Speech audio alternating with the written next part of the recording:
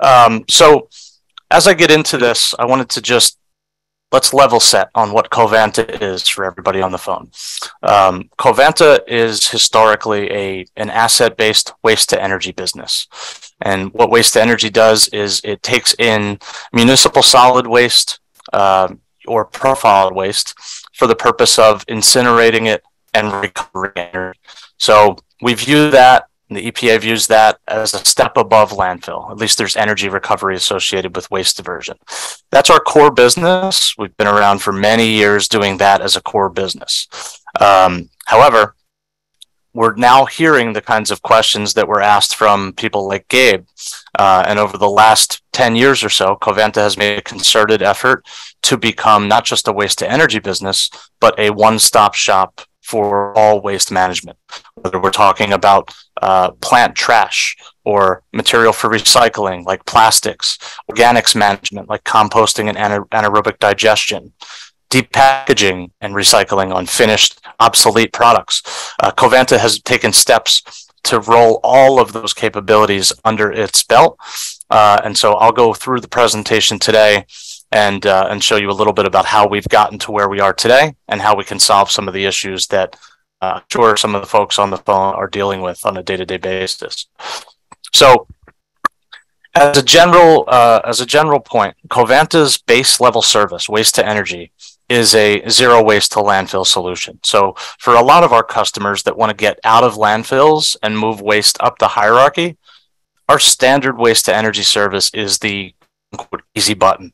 It gets you out of landfill, moves material into a zero waste to landfill status, and gets you to that status before the deadlines hit. Your self-imposed deadlines or any any other deadlines that you're trying to work against. Um, we use a uh, a full portfolio of our offerings in a single service here to make sure that we're disposing landfill uh, disposing of previously landfill bound materials in a uh, in a in a smart and efficient manner. And so the idea here is uh, for anybody that's still lagging behind in sustainability goals, right? If you don't have, uh, if you're not on a good path to get out of landfill by 2025 or 2030, uh, I'd encourage you to take a look at Covanta. We have facilities all over the country. I'll show you where those are momentarily to at least get you landfill as a starting point. And then everything else that I'm going to be talking about today uh, can show you how we can move up the hierarchy from there. Do more source segregation at the site, send recyclables for recycling, organics for composting, uh, and then whatever's left for you know waste to energy or alternative fuels. And so uh, what I wanted to show you here is our sustainable solutions overview. So we are now not just a waste to energy business, but we offer all of these treatment options that you can see up on the street on the screen here. Um, we offer secure disposal options for organizations as large as the DEA, uh, the Drug Enforcement Administration, being able to uh, incinerate and destroy uh, confiscated drugs from airports, ships, etc., uh, pharmacies. And then we've also got these now, these new re, reuse and recycling solutions. So whether you are looking for a better recycler for your plastics or a better recycler for your uh, production scrap, um, Covanta has uh, options for you to, to solve those needs. Uh, we also offer field services, um, you know, whether it's spill cleanup, emergency service work, that kind of thing. Uh, we also offer advisory and consulting solutions. So we have a few customers today that we work with uh, on a zero waste to landfill plan by a certain goal, and also on a uh, an up the hierarchy plan, so to speak, to to move more of the materials into recycling, to design materials to be more recyclable. So acting as an advisor, not just on the waste, but also more upstream on the design of the product and design of the packaging altogether. Uh, we offer wastewater treatment solutions as part of our uh, material processing facilities around the country, and also um, as part of our third-party subcontracting network. Uh, we also offer hazardous waste disposal options through the same method, that third-party subcontracted network. Get into what that means in just a bit. Um, Covanta also has a, a wide range of transportation and logistics services. So we have our own fleet of trucks in various regions around the country, but we also work directly with haulers, whether you need drop trailers, whether you need tanker loads, etc. So we can solve for any transportation method that your waste requires. Um, and this is just a little bit about you know moving into what Covanta is becoming today, uh, more of an environmental solutions company. Um, so taking a leap from our core business, which is waste to energy, into what we're becoming, I wanted to, to use this slide to illustrate some of our key metrics. So today there are 18 MPFs that or material processing facilities that Covanta has around the country. Those MPFs uh, have a couple of different capabilities. The, the primary capability is to produce blends of material in a pit that can be fed to our waste energy facilities. We also offer uh, certain types of services like product depackaging. Uh, we offer wastewater treatment at some of those facilities. We offer uh, we offer product disassembly in some cases. And so the idea here is those MPFs are like mini material processing facilities for us that open up the capability to do more with the waste. So for instance, uh, if we were receiving full truckloads of expired product that is packed in, in its consumer packaging in in plastic bottles that are packed in cardboard cases that are stacked on pallets, right? our material processing facilities and our third party network is capable of taking products like that, putting it through a depackaging system. So we are draining the liquid or semi liquid content out of the packaging. And then we end up with three separate streams. Something like, uh, you know, cardboard bales from the original cases that were broken down, plastic bales of the empty bottles, and then also decanted liquid or beneficial product for reuse. Uh, we've done that with things like soaps, lotions, etc. So goes to show that we're not just a waste energy business. As part of our wastewater treatment options, we have recycled over 1.7 million tons of wastewater. Uh, we've also acquired a company that will bolster our ability to uh, manage waste uh, wastewater around the around the globe. We uh, we have a reverse distribution center um, for healthcare and the DEA, where we take in confiscated drugs, we take in expired pills and, and other uh, narcotics from pharmacies and hospitals and incinerate those. Uh, we also um, we have uh, as part of the wastewater that we manage um, different facilities around the country, whether you're in Milwaukee, we're in uh, Asheboro or Augusta, uh, there are many areas where we can serve that need. Uh, a little bit of context on Covanta as a whole. So Covanta is a plus billion dollar business with over 2,500 employees. Um, about two years ago, Covanta was still a publicly traded company. We were acquired in 2021 by EQT, which is a private equity firm, um, who is now really positioning the business for significant growth. And so, as I continue in my slides, you'll see that EQT has really put their money where their mouth is uh, around trying to turn Covanta into a one-stop shop, a full sustainable material management company. And so, we've been very active in the M&A space, and I'll touch on some of those acquisitions here on this slide. Um, 2014, this is really a timeline of, of where the environmental solutions business got started and has evolved. So up until that point, we were primarily a waste to energy business, not doing a whole lot of other treatment for waste. But we have acquired regional waste management facilities, uh, regional material processing facilities, and rolled them up into our business over the last 10 years. And so we have uh, facilities all around the country now, which I'll show you on a, on a map in a, in a future slide. But I really wanted to focus on the 2021 and 2022 portion of this timeline. Covanta was acquired by EQT in 2021. And since that time, uh, Covanta has acquired a few different companies. Uh, Miller Environmental Transfer out in Tulsa, Oklahoma, which now acts as our our west coast, one of our West Coast material processing facilities. Uh, we acquired Biologic, the MedWaste uh, handler out in California. We acquired SGS, Frontier Fibers, and Buffalo Fuel Corp in um, at the end of 2022, and those businesses really bolster our ability to create alternative fuels that feed cement kilns. And so, as an example, um, cement kilns are one of the biggest polluters on the planet. They uh, historically have had to use fossil fuels to power their facilities. Using waste to power their facilities is a sustainable material upgrade and also keeps that material out of landfill, puts it toward a, a nice beneficial reuse. So a lot of our, our growth is structured around these acquisitions and then trying to copy and paste the technology from one site and move it into our other sites around the country. Um, this is just a a snapshot of those different treatment options that we offer. Again, think of us as a baseline as your zero waste to landfill partner because our very base service keeps material out of the landfill. But we also offer uh, all of these other services that you see on the screen. What you see here is a map of Covanta's facilities around the country. So uh, up in the top right corner, you see a zoomed in version of the Great Northeast. Uh, our facilities are very prevalent in the Northeast. They're dotted all over the place in these very population dense areas. And then as you move west across the country, you can see some of our facilities down in the Southeast, uh, in the Midwest, and then sort of a gap uh, as you get into Nebraska, Wyoming, Colorado, Utah, uh, and then there's a few more facilities on the West Coast. The reason for the placement of our facilities is because we are trying to encircle the greatest number of uh, manufacturing locations where waste is generated. And so we have coverage in a lot of the areas today where, where our customers are generating waste. But you can see we're trying to acquire companies to fill in the gaps so we can um, so we can have better coverage, less transport distance between facilities, etc. Uh, those blue dots represent our waste to energy facilities, the core business.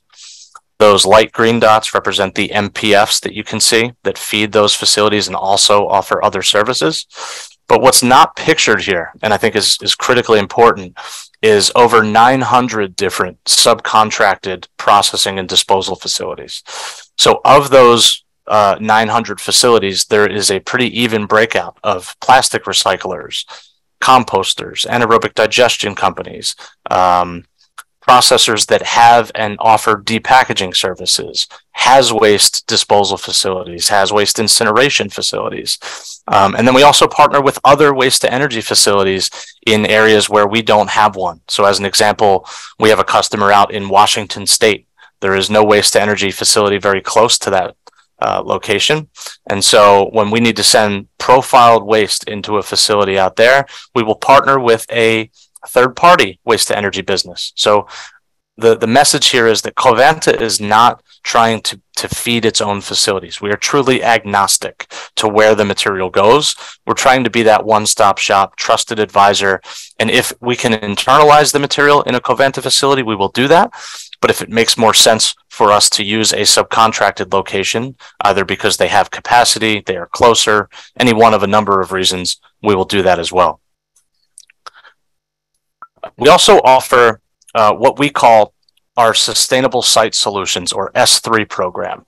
Um, anybody who who has uh, been in the waste business for a while or operates a facility uh, would know the term TWM or Total Waste Management. S3 is our version of total waste management, where we can come in and truly take over every aspect of the waste management, all transportation, all disposal, all billing, all reporting, all waste streams. Um, and this is this is uh, an example of one of those company one of those programs that we have active today is um, a Continental Tire plant in uh, South Carolina, where we physically have Covanta staff on site. We physically have our own equipment, our own labor, and we manage every stream coming out of that facility. Some of it goes for waste to energy, some of it goes for recycling, some of it goes to landfill. Uh, but the customer is calling the shots on where they want different waste streams to go. And so um, that's an example of a program where we can come in and totally take over the management of how your waste gets managed uh, by by starting at the site, segregating waste based on where it's generated, and building loads that go in various directions. Some for plastic recycling, some for cardboard recycling, some for metal recycling, if if relevant. Um, but this is a program that is uh, available to you should your facility feel the need uh, that that you need something like that. A lot of times, the pain point we hear around waste is that uh, our our customers are dealing with too many waste vendors. They might, you know, an individual facility might have a cardboard guy and a metals guy and a plastics guy, et cetera. Uh, so Covanta is trying to, to erase that pain point by becoming that one-stop shop, the trusted advisor, and then we can play air traffic control on where that waste goes, depending on what our network allows. Uh, so just wanted to share that as well. Next, I wanted to show just a couple of case studies on how we manage things like recycling of, of finished products, industrial goods, whatever you might call it. So we have a customer that uh, ships us filled IV bags uh, in those cases that you see in the top left. They're packed in, you know, standard consumer packaging in cases on pallets. We're talking truckload quantities. Uh, the customer wanted to keep this material out of landfill and asked what Covanta could do to help support that. They were not open to a waste energy solution on this, so they were truly looking for recycling. So we put this material through a depackaging line that effectively uh, punctures those bags, drains the liquid out of them. The liquid can go for wastewater treatment. The bags can be baled up and go for recycling to one of our vendors around the customer's location and then those uh, the pellets that come out of the recycling process uh, get sold back into the market to make new products. So that's a, a kind of circular approach. Another example is um, household cleaning products. Uh, you can't uh, see the name or the brand of the of the uh, product in question, but based on the the packaging on the left hand side, you may be able to tell the type of product I'm talking about. Uh, another one where there were truckload quantities, whether the product was expired, off spec, uh, misfilled. Could be a number of reasons why this product needed to be destroyed or disposed. And again, we provide a few agnostic options to the customer. We can just uh, send it to a waste energy facility and destroy it as is. No need to open up these these cases or bottles, or we could run it through a depackaging line and recycle the packaging and dispose of the content. Uh, or we could take that material to a depackaging line and recycle everything, including uh, using the the liquid kit, the liquid product inside. So in this case, the the customer chose the most time consuming, the most expensive, but also the most sustainable option, where each material could see a new life. And then hey, lastly, Brett?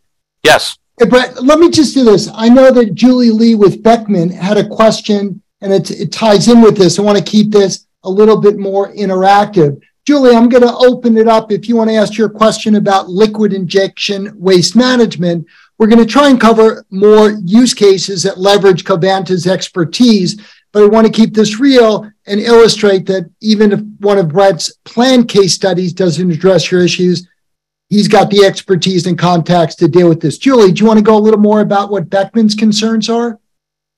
Can you hear me? Yes. Uh, Okay. Speak a little louder. You. Okay. Yeah, I was asking about the, the waste management. Just one of the options was the liquid uh, injection. So yeah. just I want to just know a little bit more details on that. Yeah. So liquid. Uh, bulk liquids or liquid products are able to, to be able to feed into our waste to energy facilities through a process called LDI. It's called liquid direct injection. So rather than putting the liquids in the same place where the refuse or waste goes, the main hoppers, you directly inject the liquid into a different opening in the system that puts that liquid directly into the flame. It's effectively evaporated. Uh, so when you see liquid direct injection, that's what that refers to. It's uh, disposal of the liquids at our waste energy plants. Okay, so if I dispose of like uh, non-hazardous liquid type, just uh, you know, and send it over to your facility, and then just that is used as kind of just a, like alternative fuel in that case, so there's okay. Yeah, there's there's two two methods where we could solve your your liquids. One of them is through LDI, liquid direct injection at a waste to energy plant. That's if if that makes sense ge- geographically, right? A, a waste energy okay. plant may be a little far far away from your facility, but if we can take it in directly, we would inject it directly. The other option is taking that liquid to one of our MPFs where we create the blends. And so what happens is the liquids go into a pit where we solidify the liquids with things like sawdust and other waste to kind of soak up the liquid. That creates a blend that we then feed to our waste to energy facilities. So in both cases, whether um, you want to d- directly inject or create a blend that goes for waste to energy, we can do that on any non-haz liquids. Okay, great. Thank you. Good to know. Thank you. Yep. Great. And then, um, Brett, you can follow up with Julie. I want to keep a little bit of this interactive. Sure. Um, maybe um, if you don't mind, Brett, as we're going on and there's so many exciting things, I'm going to ask. This is uh, related. Marianne's with Vancouver uh, Health out there in uh, British Columbia has got questions about IVs. Marianne, do you want to ask your question? Sure, thank you. Um, I just uh, find it really interesting your IV bag recycling example, and I'm wondering if that is specific to the region where that took place. And I ask because you know a year or two ago we tried to find a PVC recycling vendor that would take our IV bags, but we were mm-hmm. not able to do that.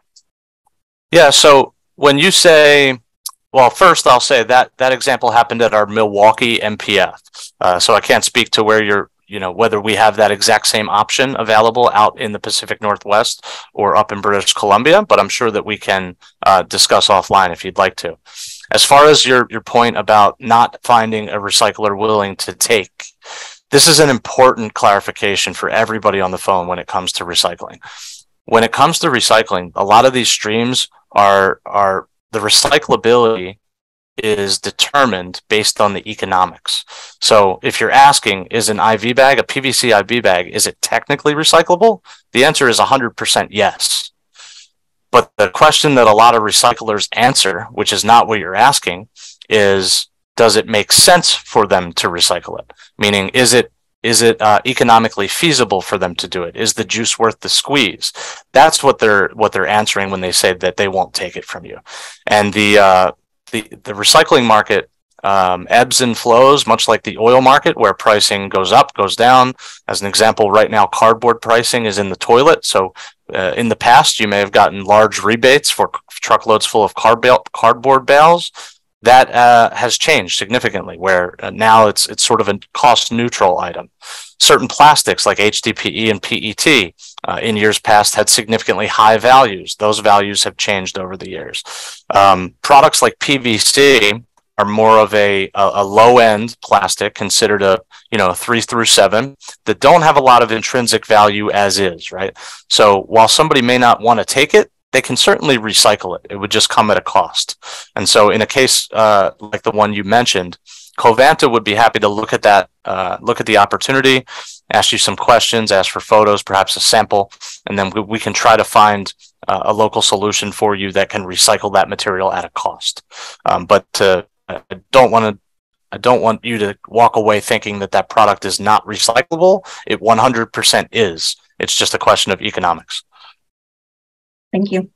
Great. Hey, Brett, why don't you finish up your formal presentation? There's still a number sure. of questions. Want to keep this the session just to about an hour. Love yep. having this inter, inter, interaction, and then we'll try and get through some additional questions. But I want everyone to get the full con the full extent yep. of your presentation, and then we'll keep uh, staying online as long as there are questions. All right, all yours, Brett. Yeah, no problem. So when it comes to our, our waste to energy business, we offer secure destruction as part of uh, our service. And so we know with a lot of products, especially uh, confidential products, it's important that uh, the, the product be secure as it's being destroyed. And so um, we can direct hopper feed waste uh, we maintain uh, automated feed systems that tip the waste into the hopper, and all of this is digitally recorded to prove that the material was securely destroyed. So, as part of our own facilities, this is a standard. When it comes to uh, shipping material that might go for recycling or composting or anything else not going to our waste energy facility, um, we can offer a load verification procedure where uh, Covanta can witness disposal on behalf of you uh, we can manage uh, the the seal reporting. So if you want to place a seal on a truck leaving your facility, we can take photo of that seal intact when it arrives to us or at, at one of our subcontractors, capture the seal number, etc., just to show you that we are verifying that the load has not been tampered with.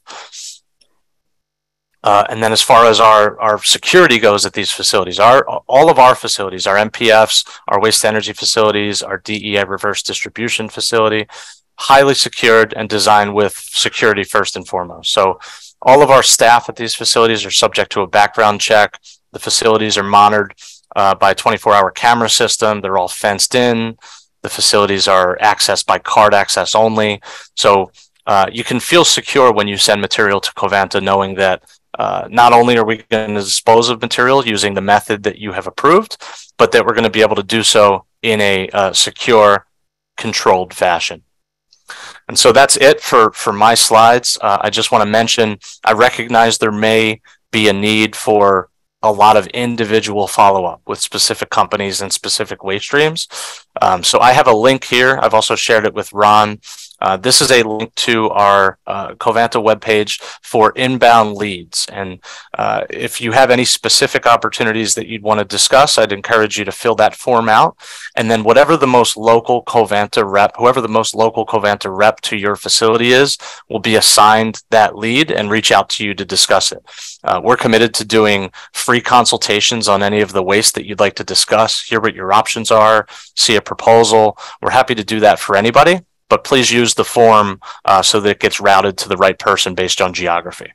Uh, and that's it for me. I want to thank everybody for your attention, and I'm happy to answer any questions that the, that the group has.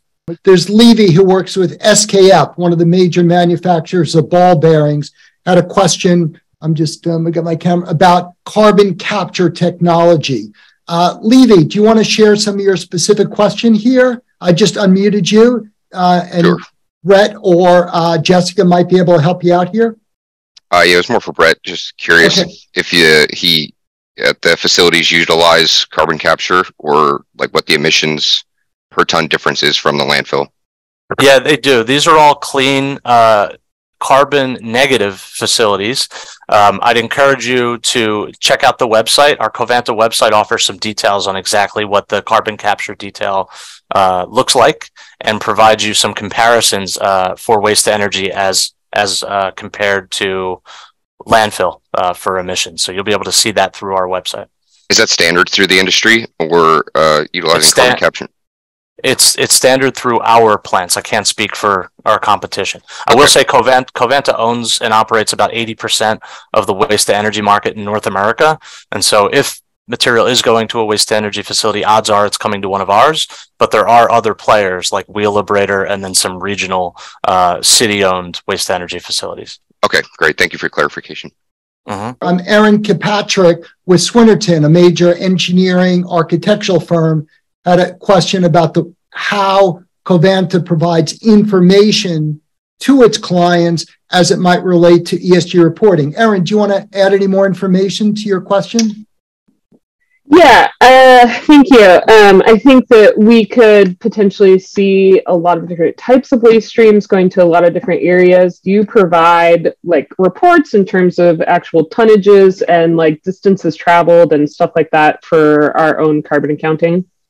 Yeah, so any any of our customers, we do offer standard reporting, which includes dates of pickups, uh, all the all the rates, of course, to move from one facility to the other, treat type, and um, the tonnage. And so that's part of the standard awesome. reporting that our customers get on a monthly basis when you have recurring business with Covanta. And then if it was just a project type work where you know you need to clean out one warehouse of expired product and it's a one time job, we can also provide end of project reporting on things like that. Okay, perfect. Thank you. How does um, Covanta work with third-party vendors and scheduling loads? I don't know if you want to talk about that. If it's easy answer, sure. If we can talk about that offline, I can. I can cover that in thirty seconds. So, um, so Covanta has a team that manages both the onboarding and the vetting of any third party vendor that we do business with. That includes both a paper audit, a site visit, etc. Usually a trial load before we onboard them as a full vendor. Um, in terms of scheduling into those vendors, Covanta would manage if you were manage if you were having Covanta manage your waste and we are subcontracting part of that to some third party, Covanta would manage all of the scheduling on your behalf, including all of the trucking, including managing appointments at those third parties. Um, that's part of our, our third party network management. Got it. And that's what I think why I wanted to have Covanta speak here is again, it provides that one stop shopping with so many organizations having different mul- or different waste streams. Even if you're a small company, there's organic, maybe you've got an employee cafeteria, you've got industrial waste, you might have plastics you're trying to recycle. You know, it can be complicated. And Covanta can provide that trusted, secure, compliant source for getting all of this addressed. Now, Daniel works with an art school in the Pacific Northwest, had a question about how do you go about recycling more detailed products like oil and solvents? Yeah, we we produce a lot of um, paper contaminated products, um, contaminated with solvents and paints, and we d- don't have a solution for you know d- dealing with those products as well as the solvents and the paint leftover paint themselves. So Yeah, um, so those those products, depending on the solvents and chemicals, could be considered hazardous. Even if it's paper that's contaminated, things like that could be considered hazardous. Yeah. And so in those cases, we would partner with a uh, a haz waste disposal or a haz waste incineration company to manage the disposal of that product. Sometimes recycling is not possible on something like a paper product if that paper is contaminated. okay.